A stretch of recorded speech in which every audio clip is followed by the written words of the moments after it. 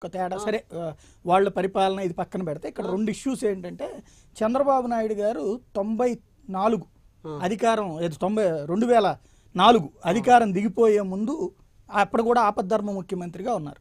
అంటే ఆపద్ధర్మ ముఖ్యమంత్రి కాదు కంటిన్యూ అయినట్టే కదా ఎన్నికలు అయ్యేదాకా. ఆపద్ధర్మ ముఖ్యమంత్రి అంటే రాజీనామా చేస్తే ఆపద్ధర్మ ముఖ్యమంత్రి అవుతారు. అప్పట్లో రాజీనామా చేశారు యాక్చువల్గా చేస్తేనే ముందు ముందస్తు ఎన్నికలు జరిగింది.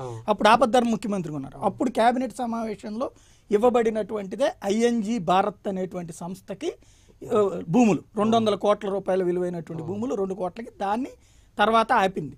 అట్లాగే కిరణ్ కుమార్ రెడ్డి ఆపద్ధర్మ ముఖ్యమంత్రిగా రాజీనామా చేసి ఉన్నటువంటి సందర్భంలో గచ్చిబౌలిలో ఉన్నటువంటి పదిహేను వందల ఎకరాల భూమిని వేరే వాళ్ళకి ఇచ్చేశారు.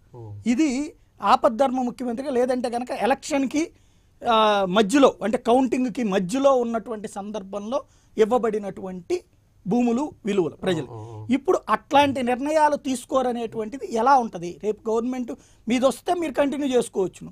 లేదు అంటే కనుక అది తప్పు అవుతుంది అలాంటి కే ఇష్యూస్ తెలుసు కదా? ఇది చంద్రబాబు గారిది ఒక్కటే చెప్పండి నేను. కిరణ్ కుమార్ రెడ్డి గారిది కూడా కేసీఆర్ వచ్చాక అది రద్దు చేశారు చంద్ర రాజశేఖర రెడ్డి వచ్చాక అది రద్దు చేశారు. అదేమో స్టేలో ఉంది ఇదేమో స్టేలో లేదు. ఇది రద్దే చేసి పారేశారు.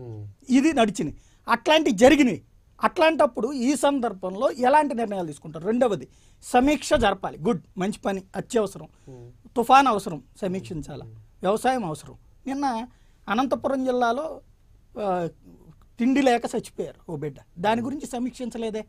ఎందుకు సమీక్షించలేదు? ఎప్పుడు? నిన్ననే. మొన్న మొన్న పేపర్లో వచ్చింది నిన్న కూడా చూపించాం. సమీక్ష చేస్తారు. ఎందుకు? చేస్తారు? ఎప్పుడు చేస్తారు. చచ్చిపోయాక కూడా చేయరా? ఎందుకు చేస్తారు సార్? అది ఎందుకు నిన్న నిన్న. తుఫాను గురించి చేశారు నిన్న వ్యవసాయం గురించి చేశారు. కరువుతో చచ్చిపోయేవాడి కంటే కూడా ముఖ్యమైనటువంటిది ఏదన్నా ఉందా? కరువుతో పిల్లలు చచ్చిపోవడం. ఎట్లా చెబుతాం సార్? కరువుతో అక్కడ ఉన్నటువంటి మీ కలెక్టర్ గారు చెప్పారు అక్కడ ఉన్నటువంటి మీ ఎస్ఐ గారే తీసుకెళ్ళి వాళ్ళని అనాథ ఏది చైల్డ్ కేర్ సెంటర్లో పెట్టారు ఆ పిల్లల్ని.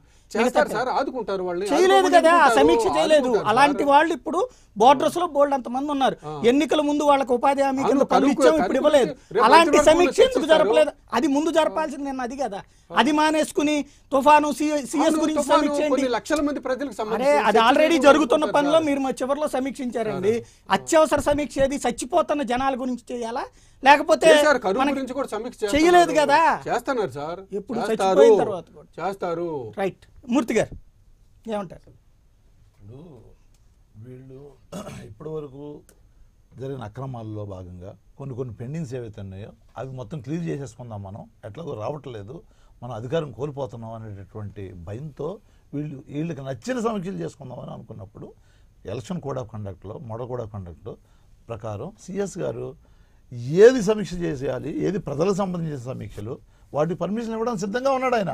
ఈయన ఏమంటారు నా దగ్గరకు రాడా? సిఎస్ నా దగ్గరకు రాడా? సీఎం దగ్గరికి? అన్ని రాష్ట్రాల్లో సీఎం దగ్గర సిఎస్ వెళ్తున్నాడు. అరే అన్ని రాష్ట్రాల్లో ఎలక్షన్లు జరిగాయా? ఈయనేమో ముందే ఎలక్షన్ పెట్టుకున్నాడు ఈయన. ఆల్రెడీ పూర్తి గవర్నమెంట్ రాష్ట్రాల్లో? అన్ని ఎన్నికల సంఘం పెట్టింది అక్కడ కానీ ఓన్లీ ఒక. సంబంధించి పాయింట్ ఒక పాయింట్. నేను అనేది ఏంటంటే ప్రతిపక్షంలో ఉన్నప్పుడో లేదంటే కేంద్రంలో మన పార్టీ లేనటువంటి సందర్భంలో ప్రతి రాజకీయ పార్టీ కూడా ప్రత్యర్థుల మీద విమర్శలు చేస్తూ ఉంటుంది. లేదంటే ప్రతిపక్షంలో ఉన్నటువంటి వాళ్ళు విమర్శలు చేస్తుంటారు. తాము పవర్లో ఉన్నప్పుడు మాత్రం మాకెందుకు అధికారాలు ఉండవని ప్రతి ఒక్కళ్ళు మాట్లాడతారు. రెండు వేల తొమ్మిదిలో కానీ రెండు వేల నాలుగులో కానీ రెండు వేల పద్నాలుగులో. కానీ ఇప్పుడు ప్రతిసారి జరుగుతున్నది ఇదే. నేను అనేది ఇదిగో మేమైతే ఈ పని చెయ్యం అనేటువంటి మాట ఎవరంటారు ఎందుకన్నారు ఇప్పుడు- మేమైతే ఈ సమీక్ష చేయమని. నిన్న ఇప్పుడు కోర్టు డైరెక్షన్ ఇచ్చింది. ఈయనకి. ఆ నిర్వాసితులు మొత్తం డబ్బులు పే చేయండి అని. ఈయన ఏమన్నాడు? అరే కోర్టు జోక్యం చేసుకునే వరకు మనం ఎందుకు వెయిట్ చేయాలి? మీరు జాగ్రత్తగా ముందే పే చేయండి అని చెప్పేసి. అది బాధ్యత. నాకు నచ్చినట్టు చేస్తానడం కాదు. ముఖ్యమంత్రి అయిపోతే కొమ్మలు వచ్చినట్టు కాదు. అది బాధ్యతతో అవసరాలు తగ్గట్టుగా ప్రజల అవసరాలు తగ్గట్టుగా పరిపాలించాలి. అంతే తప్పించి నా కొమ్ములు వచ్చాయి నువ్వు సీఎస్ఆ నువ్వు నా దగ్గర రావాలి. ప్రధానమంత్రి అయినా సరే ఆంధ్రప్రదేశ్ బౌండరీ అంటే నా రాష్ట్ర బౌండరీలో వచ్చేటప్పుడు చెప్పాలి నా దగ్గర రావాలి. ఎందుకు పోతున్నారు. చీఫ్ సెక్రటరీ ముఖ్యమంత్రి కింద పనిచేసే అధికారే. రిపోర్ట్ చేయొచ్చు అలా అని చెప్పేసి వాళ్ళ మీకు బాధ్యతలు కాదు. మీకు బంటురాజులు ఒక్క కాదు. మాట, ఒక్క మాట. అయితే ఇక్కడ- ఏదైతే ఇక్కడ- రేపు పొద్దున ఇదే చీఫ్ సెక్రటరీ మీ ప్రభుత్వం మీరు గనక ప్రభుత్వం ఏర్పాటు చేస్తే ఆయన గనక నేను రాను అంటే గనక మీరైనా.